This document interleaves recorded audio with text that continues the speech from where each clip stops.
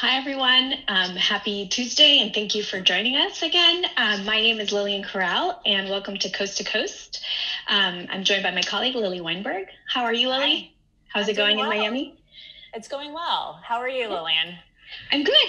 We're um, in Los Angeles, just watching our world un- un- unfold and, and seeing a lot of like really interesting stuff happen across our community, in particular around um, questions of, um, I think, in particular this week, really talking about this question of um, defunding the police and what does that really look like. Yeah. Um, I don't know what you're hearing in Miami and, and how the conversation is going yeah. over there.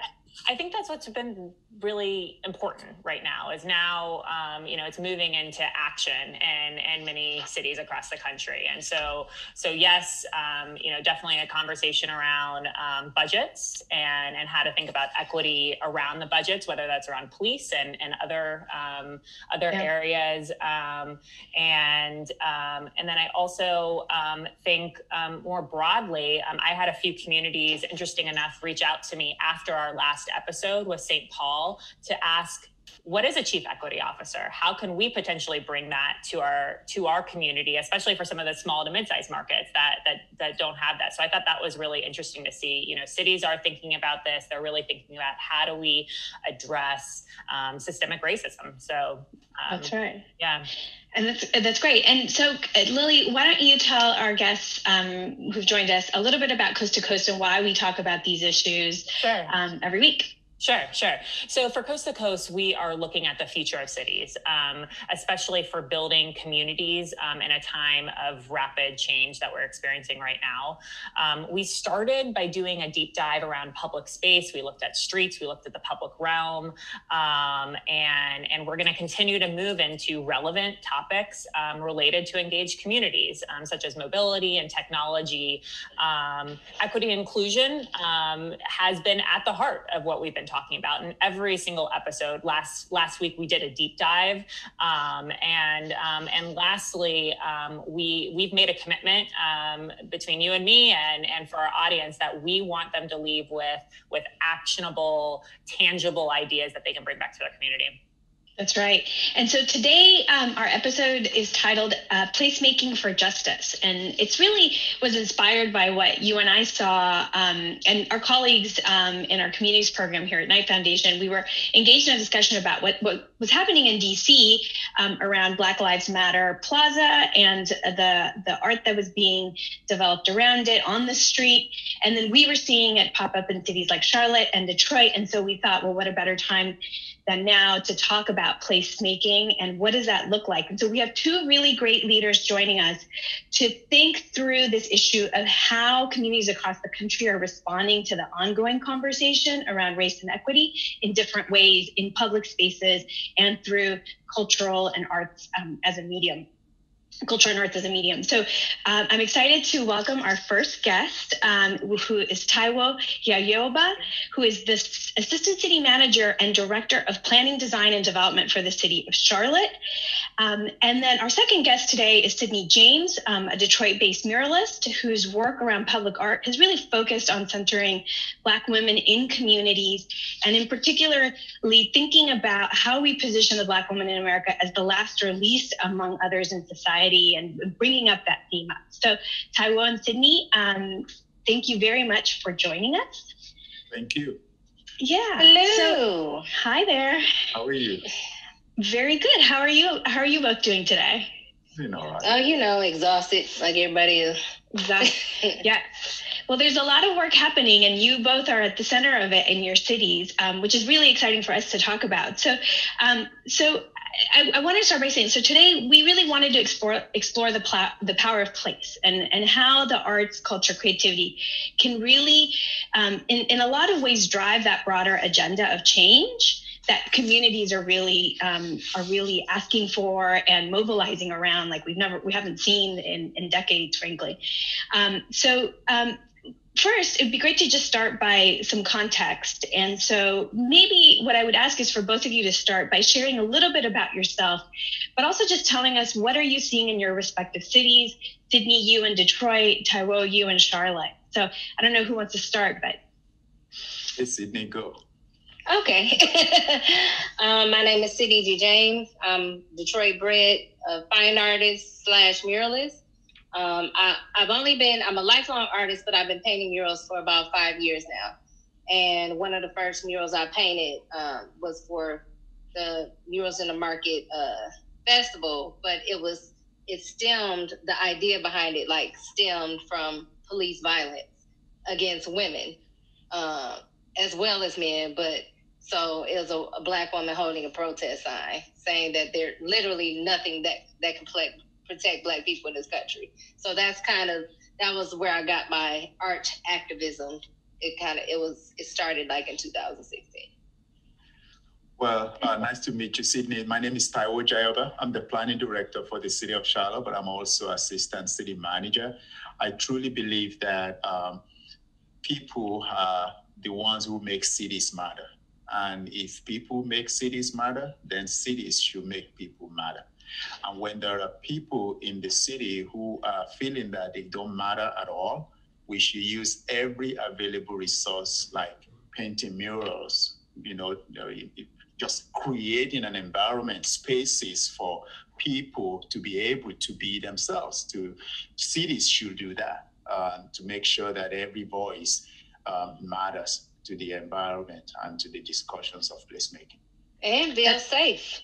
exactly. Yes. Yes. And feel safe in those spaces. That's great. So I'm going to start by asking you both a couple of questions um, to get the conversation started. But I'm encouraging everyone online watching us to please share their questions in the Q&A. If you're on Facebook, um, please also uh, note that we're tracking those questions. Or if you're on Twitter, um, please use the hashtag Knight Live, and we'll answer. We'll be taking up your questions and answering and answering those and addressing them. Um, so we're seeing protests across the nation obviously spread and art has really become public art is sort of really taking hold within those activities. So from your individual perspective taiwo from the city sydney as an artist um, can you talk first taiwo about how place can address race and equity in our communities? I mean you started to kind of talk about it in your intro but what do you think what do you th- from a planning perspective what is the what is the importance of place really helping cities address race and equity and how can we how can we think about it on a practical level?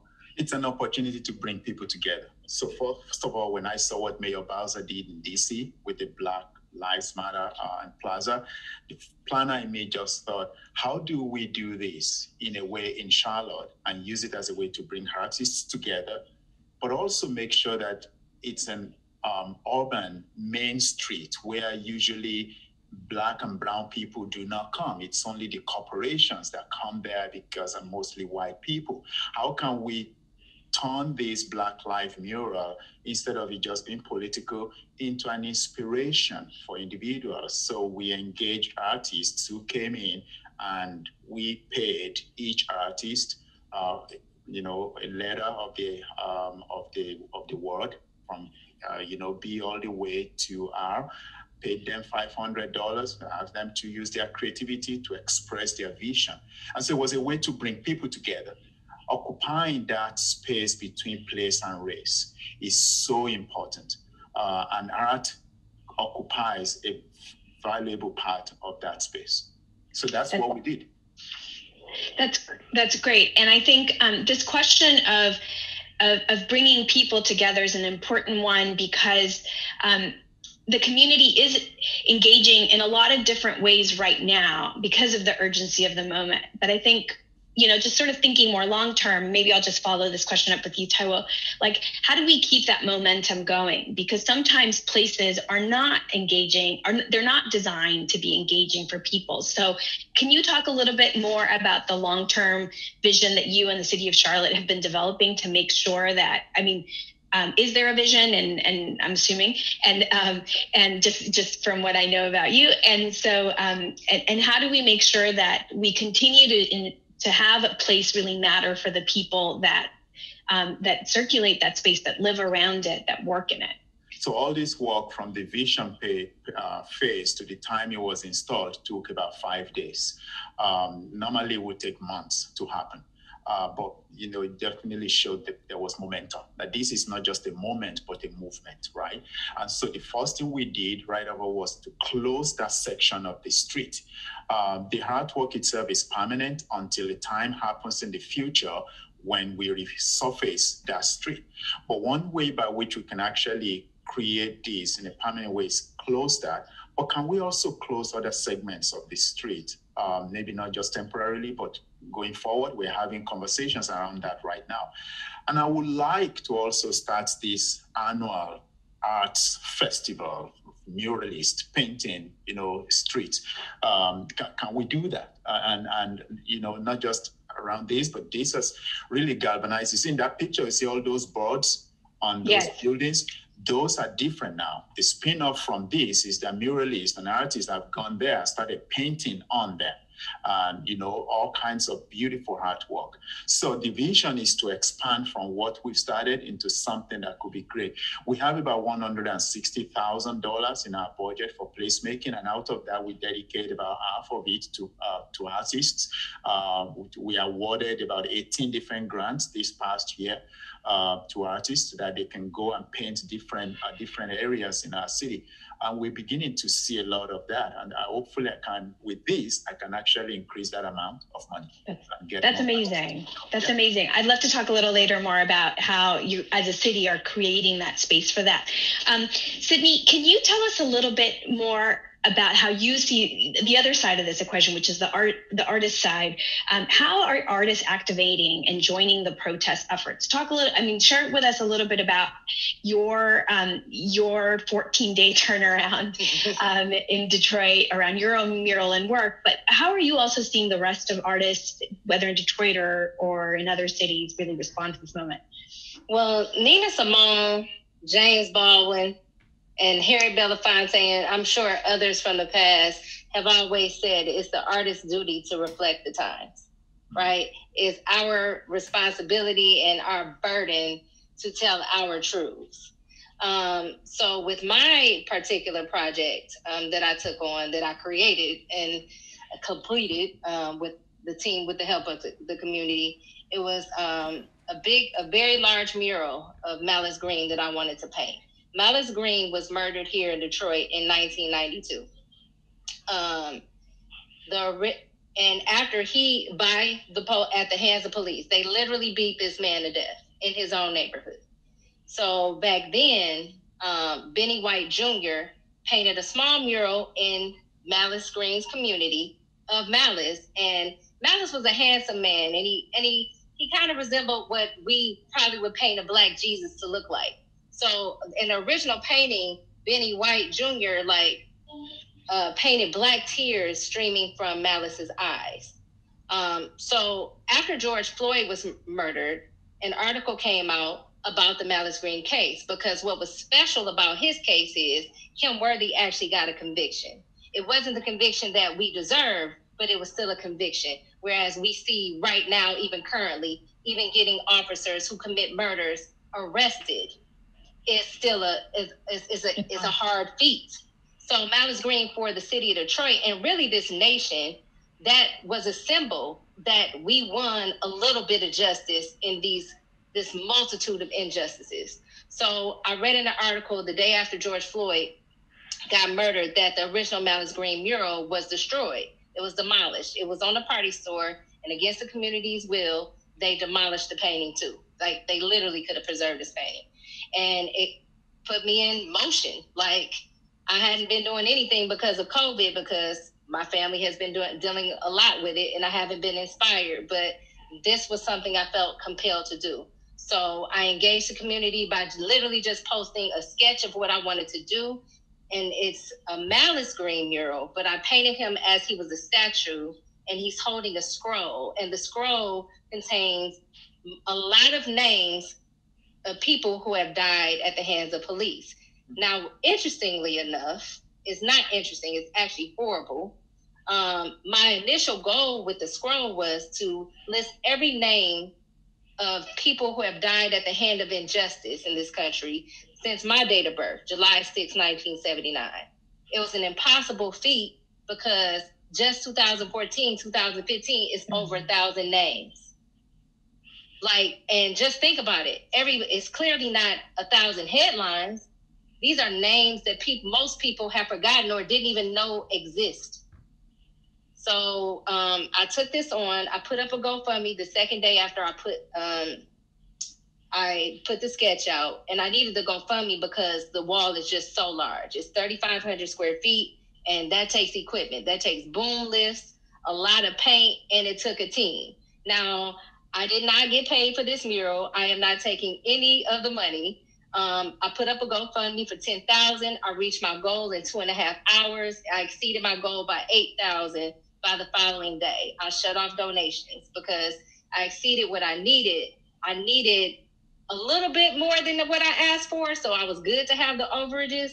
But everything else that I don't use will be do- donated to the back the Black Youth Power uh, Power 100 group, and those donations um, directly feed into the legal fees of protesters, Detroit resident protesters that were arrested during the protests unjustly.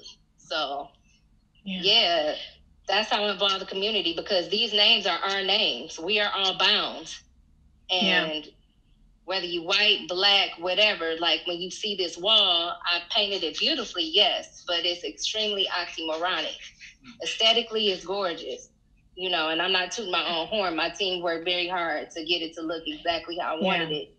But at the heart of everything, at the heart, at, at its core, it's a very, very ugly piece. It's, a very, yeah. Yeah. And so, Taiwo, from the city perspective, you know, we're constantly hearing, I'm hearing these threads about like, we, you know, the community, we've been having these conversations for a long time. We've been saying these, there are way too many names to, to, to list on a wall. Um, can you talk a little bit about, it sounds like you're trying to create concrete ways to support this dialogue at least through this through this avenue of placemaking can you talk a little bit more about like what specifically you're doing so that other cities we, we, we get a lot of city practitioners on our on our guests on on our audience and so like what can they be doing? And then the other thing too is can you also just share a little bit about like what are the challenges you face? You know this is a this is an ugly and tough conversation as Sydney just alluded to. And so, like, what are the challenges that you face, and how are you addressing them more specifically um, through some of the things that you're working on? So, the, the, we've had the same things that you all have had, whether it's in Detroit or it's in LA or it's in Miami or wherever you are, things related to um, equity, policing, uh, systemic racism. Now, the knee jerk reaction, in my opinion, is for corporations to say, you know what, the way to address this is by promoting a few black people and put them into executive positions, management. That, as far as I'm concerned, that's not enough. That's just exactly. like a window dressing. You got to really be forceful about this and be deliberate about this. Go into these communities and put your money where your mouth is. If you're really truly going to make a difference, I don't want to be hearing that we did this economic analysis and it tells us that there's not enough income on that side of town to support our business. Make it work revise right. your economic model. As government entity, I am committed to taking a good look at our policies that have systemically segregated us in this city. In Charlotte, we refer to a wedge and we refer to a crescent. The wedge is where most white people live. It's also the most affluent place. Also where you have the full service grocery stores, the full service banks. It's where you have the quickest responses to fire incidents. The crescent, on the other hand, is where we have our black and brown communities live. That's where you have the poorest quality of schools. That's where real estate people don't take you when you're moving into town deliberately. How can we go into these communities and begin to change the narratives. We're not saying that because of crime, we won't go there to invest. No, let's invest because of crime okay. so that we can infect, we can affect that. That's my job as planning director. How can we invest in mobility to create equity? How can we make sure that you know, we do things differently. Yes, I'm, I'm going to have challenges. I will tell you now that this heart was installed on Tuesday. Since then i've been fending off a lot of racist emails phone calls you know uh, people wanting to also paint white lives matter you know uh, on the prominent city street. That's not the way we build an equitable city. It's by paying attention to those who have been undervalued, the least among us, and begin to make sure that we also uplift them to a point where we can say we live in a society that's equitable. But also, our next budget, we're investing in six corridors, about $24 million. And these six corridors are in our poorest areas in the crescent, like I said. The goal is not to do a study, the goal is to have projects. And that involves people like Sydney who can actually help us make these things come alive. So it's not just building sidewalks, but how do they become vibrant places for people to gather and to do life? Great. So I'm going to bring Lilly on, who we're getting a flood of questions, but it definitely seems like run towards these issues, don't stay away from communities, and then really invest and do work, do the projects. Um, thank you all. Lilly, what are you hearing on the Q and A? Yeah, no, this is this is a great conversation, um, and, and, there's a couple of questions that that um, are are trying to get to um, understand how um, the arts and and cultural um, can really um, address some of the the, the very serious um, systemic racism that we have in our communities. Um, one one um, participant asked, you know, how does this lead to economic justice? How does you know how do we how do we take the the next step? So um, it, it's an important question. Um, Taiwo, you wanna you wanna start? As how to take the next step from here. So one of the things that we started to do, and I think it can address one of the questions as well with regards to slow down in vehicles. One of the first things we did with during COVID was to shut down certain streets to through traffic. But we not only did that, we also engaged artists to paint the intersections of these streets. So there's a combination of shared streets, protecting pedestrians and bicyclists, but also installing hearts, creating visually aesthetic streets by also slowing down vehicles. And then the next thing is really let's bring down, you know, restaurants to our outdoor dining. I'll tell you this. We had a meeting with some of our restaurants yesterday where this uh, mural is, uh, McCormick and Schmick's the guys said to us that they had their best Saturday, their best weekend in months since the shutdown because we painted Black Lives Matter right at that location. They had their best. And they said to me, Can we keep this going? If we keep this going, I will bring more of my employees back. That's the power of hearts in the public. Yes, it is. It is a power of heart in the public realm. It becomes a gathering place that people can actually combine business and, and life at the same time. So that's what we plan to do going forward from this point. Mm. Yeah, because art, like artists, we just want to create, right? We just want to create the space. But the community, especially if it's not ugly, like loves it. Whereas like the people in the communities, they see the art, but developers, they see opportunity. Mm-hmm. So they have to start seeing opportunity but not pushing out the community. So we need it's, it's like we need like to come together instead of like developers coming into the spaces where we have created art and then outpricing the citizens that were already residing in those spaces. It's mm-hmm. like such a big conversation and it's actually the beginning of a hundred conversations. Yeah. But I am grateful that we're starting to have them. But also with the city beautification, I really appreciate Taiwo because he even pointed out we this is our budget. Half of that budget went to pay artists. That's not what like cities like to give artists stipends. They don't like to pay us for our work. Mm. Like honestly, had that been a city project that I did, like I would have maybe profited a thousand bucks, possibly off of a 3,500 square foot wall. And that's just, that's not real. That's not artist pricing. That's not anybody's pricing. It takes more to prime that wall than what the city be offering, like these community projects. So that's also part of these hundreds of thousands of conversations that need to be had. It's like, you know, properly pay somebody. Art is a job. There are thousands of art jobs yeah. And we deserve it. It's not a hobby. We deserve to be paid because this is our life livelihood. Like we do it because we love it and we're going to do it regardless. However, if you want me to do it for you, you want to pay. And yeah. that should be, I don't know, that should just be common sense, but it's not. And Sydney, um, your point um, about about artists and getting paid is actually one of the questions that we had um, in the in the queue of questions. So um, so important and and and certainly noted. Um, and I think the, the bigger picture though is that is that these these murals, the the artwork is really bringing people together in our communities. It's bringing oh, yeah. conversations. I mean, it's it's been extraordinary to see the pictures of of how community have come together um, and and and then the next steps are um, hopefully around policy. Um, so, so to that point, Sydney, I'm going to um, continue this thread a little bit. Um, eh, there's a question around how can we foster um, a tradition um, around cultural organizing. You know, how can this how can this become a tradition?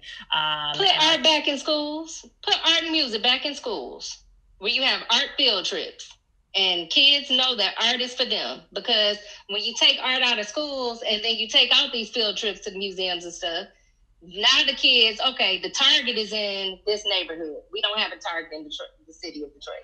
Not we you know what i'm saying? We don't have major just like he was pointing out like oh no the full service grocery stores they're over here in these areas. It's the same thing in detroit. Detroit is 137 square miles and we don't have even a target.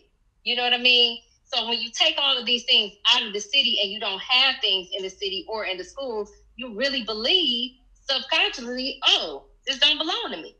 It's for others. For some reason, I'm not deserving of this. So at the the basic answer to that question is literally put art back in schools. Mm-hmm. Like because the seed has to be planted early. Mm-hmm. And mm-hmm. that's how you grow the seed. That's how you flourish. Mm-hmm. That's how you have a harvest. Like, because you see, it's not just work that looks like work. Work doesn't always have to look like work. Mm-hmm. You know what I mean? Like, and, I think like it starts with education, and then mm-hmm. education also educates adults too.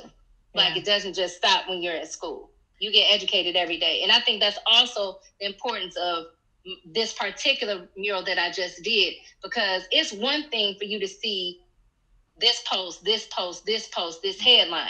They're mm-hmm. still just singular. It's a whole other thing if you literally look at this big this big old wall. I was about to say, mm-hmm. um, and you see all of these names, and you're overwhelmed by all of these names. And right. don't Google one because if you Google one, you're gonna really find out the evil that's been done to our people.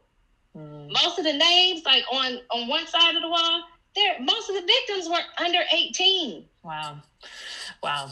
Um, for, for our audience members, um, we linked um, for more information on the murals. Um, and and so so please um, read more. It's really, really important. Um, and thanks for for highlighting the piece about, about the education for the arts. I'm going to pivot a little bit because we are running out of time. This, this goes by very fast. it does. Taiwo, um, we have a series of questions um, around, you know, how, how, do how do you do this? Like, how, how does how does a city how do you get buy-in from the city to to do this? Um, one, and then the second piece is is a component around um, businesses. You know, you you did this in a business corridor, um, and and how do you also get buy-in um, from businesses? So I'll say leadership very critical uh, it's also very important that you're not afraid. I'm a black dude who happens to be a planning director and as assistant city manager. It's easy for me to say I will sit here, I won't do anything so that I'm not labeled as being just a black guy trying to champion the cause of my people. That's not the point. The point is that I am in this position to lead what's best for our city. How that happens is by listening to the community, by listening to council members. A lot of ideas are not new it just takes boldness to implement them. And so I've heard what the council members have been saying about Tryon for the longest time. That's the corridor where we have museum, we have an art gallery. And so it just makes sense to do something along that corridor. But it also about not being um, you know, afraid. I, and I think that that's very important because you have a vision and you got to be willing to to go all out for it. And we we convey, we met with the businesses. We met with them now three times, the most recent being yesterday. And we have another meeting coming next week with businesses, with uh, fire department, police. If we're talking about closure of this corridor, how does it impact you? Uh, we're doing our own analysis. And so you got to do all these things. So while you're doing your own internal work with your, you know, executive leadership, You got to make sure that you're carrying your council along. Um, and also, this placemaking grant was approved by council a year ago. Uh, we're coming to the end of our fiscal year. We've got leftover budget, and we just said, let's use that. But we've got another money coming from July. And so I know a lot of people are listening to me, and you know, artists, welcome to submit, and uh, we definitely welcome you to to do great work uh, in our city. So it's really about collectivity and uh, collaboration.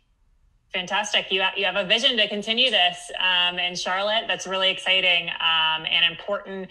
Um, we, there's a lot more questions, but but unfortunately we can't we can't get to them. Um, and um, but I want to yes. Hey Lillian, um, Lillian will will close us out. Yeah, no, that's it's a fabulous conversation, and 30 minutes goes by fast. We do have a ton of questions left in the queue, um, but I think what we'll do is let's just turn it over to you for like one last big reflection. I mean, Taiwo, you just talked about leadership, um, so maybe Sydney, you can kick us off with like, what's the one thing you would tell to folks in the audience who are a mix of, it, it sounds like a mix of artists, city practitioners, planners, um, tech futurists. Um, what, what's the one thing to keep this kind of work alive and going um, that you think is critical? We can't forget, like right now, we're living in an interesting time because for once since 1619, the world has space and time because of COVID. So we the, the world has time to look and actually see what's been going on. So that's why we have all this attention we can't forget though. As soon as we get our, you know, our callbacks to go to work or go back to school or to these places, we can't forget. Like we can't. Somehow we have to keep this momentum going and the conversation going, and we just have to individually do like we have to hold people accountable our friends our colleagues strangers we have to hold the world accountable we mm-hmm. have to do better because this is the end like we're at our wits end i don't yeah. know if we don't start getting results, what it would look like. Yeah. yeah. And I had to. You know what I mean? Get, don't get comfortable. Don't get right. comfortable. That's uh, not. We need to. We need to get out of uh, you know comfortable zone and and, and do something. Um, open your eyes. Be involved in creative placemaking. This isn't just about planning and rules and regulations, but creating vibrant and thriving communities. And artists are major, major part of that. Part of that. Yeah. That's amazing. And that's at the heart of a lot of Knight's work in community. So thank you both for joining us. I just want to um, let the audience know this is a really amazing conversation that we just started. Our colleagues in the arts department are actually doing another show um, similar in topic on the 26th of June. So if you're getting our emails, please look out for um, arts resilience and addressing systemic change on the 26th um, led by our colleague Priya Sircar. And, um, and thank you both again. Next week, I think we're going to delve a little bit into how, um, how various, how we do a little bit of cultural bridging, how various communities, minority groups really help each other during these times and support each other. And what are the challenges there? Because it's sometimes not as clear cut. Um, thank you all for joining us, and we will see you next Tuesday. Thank Bye. You. Bye. Bye.